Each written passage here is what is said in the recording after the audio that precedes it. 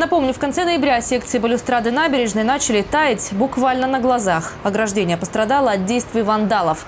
С каждым днем пролетов становилось все меньше. Тревогу забила общественность. Сочинцы даже начали патрулировать набережную. Администрация подрядчику дала срок до 10 декабря восстановить разрушенный парапет.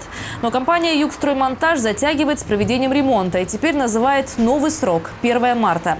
Кстати, в отношении подрядчика полиция проводит проверку. Есть подозрение, что ограждение выполнено из некачественных материалов. Заблуждаются больше. И это экспертиза. У нас тоже есть экспертиза, которая могла также подтвердить, что у нас в полном порядке как бы не было. Просто была спешка. Да, где-то нюансы есть.